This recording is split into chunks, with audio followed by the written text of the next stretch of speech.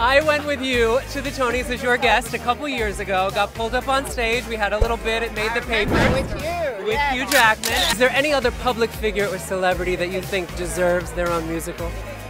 Well, I'm sure there are many. Probably you.